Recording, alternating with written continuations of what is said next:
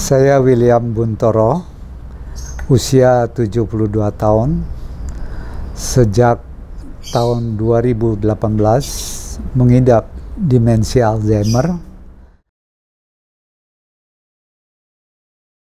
Uh, saya merasa awal-awalnya uh, saya menyadari diri saya sendiri kenapa saya akhir-akhir ini sering lupa padahal sebelum-sebelumnya saya tidak lalu saya pikir ini harus saya follow up harus saya tindak lanjuti nah, saya coba cari informasi ke mana saya harus berkonsultasi nah pertama saya datangi dokter saraf setelah saya mengunjungi dokter saraf, saya dilakukan pemeriksaan. Lalu saya disarankan untuk konsultasi dengan dokter fungsi luhur. Di RSCM. Nah, di RSCM Kencana. Nah, saya ikuti, saya kunjungi dokter fungsi luhur. Nah, di sana saya memperoleh semacam tes, tes ya. Saya ditanya, lalu dokternya mencatat ya kayak seperti ya, orang psikotes. lah ya psikotes nah, itu cukup lama mungkin satu jam dua jam lah ya. Ya. Nah, dari situ hasilnya didiagnosa saya mengidap demensia demensia Alzheimer. Tapi masih bagus sih katanya. Nah, lalu saya di follow up lagi untuk uh, eh, MRI dilakukan MRI. Nah, setelah saya MRI hasilnya pun memang sama, jadi kelihatan lah memang pengecilan, pengecilan di, otak. Di otak. Saya. Pengecilan Itu di awal otak. daripada Alzheimer.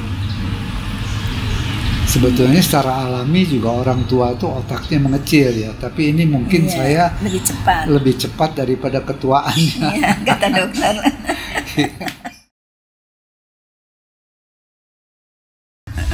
berubahnya um, lupa, ya. lupa dia sering lupa hal, sering lupa baru. sering bertanya berulang-ulang ini uh, seperti misalnya ini hari apa terus ini tanggal berapa saya bilang pak dicatat gitu. Kalau nggak saya belikan buku untuk di saku dibawa di saku kalau itu dicatat. Jadi biar dia ingat. Sudah sih dilakukan itu tapi namanya kadang lupa bukunya ketinggalan.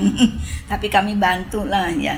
Ini hari ini pak ini tanggal ini besok papa ada acara ini papa mesti ingat. Jadi kita bantu mengingatnya begitu. Kalau dia mesti ke kantor tanggal segini ini ganjil genap kita kasih tahu. Jadi dia ingat. Kadang-kadang lupa juga. Kalau itu kan biasanya nggak lupa gitu karena sudah ada demensia mau ke kantor kadang mobilnya platnya ganjil dia berangkat genap. Sudah keburu berangkat gitu. Jadi kami mengingatkan terus kalau mau ke kantor ganjil genap nih gitu. Hanya itu. Um, kami tetap support papa. uh, apa pun yang bapak lakukan ya. itu baik uh, dari kesehatannya kemudian dari uh, efek-efek perilaku papa gitu ya kan Saya harapkan keluarga saya tetap mendukung saya, tetap mendampingi saya, baik itu istri maupun anak-anak, cucu, dan saya harapkan ya seperti biasalah, sebagaimana anak, istri menyayangi suami dan orang tuanya, demikian juga sebaliknya.